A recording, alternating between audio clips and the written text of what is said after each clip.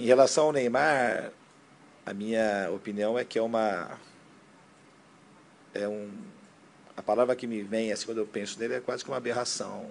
É um super talento que demora muito tempo para nascer outro. Isso que eu penso do Neymar. É um o Brasil tem a sorte de aparecer jogadores assim de tempos em tempos.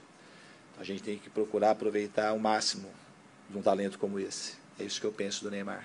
É um é um extra série, um fora de série em todos os sentidos para quando se trata de jogar futebol.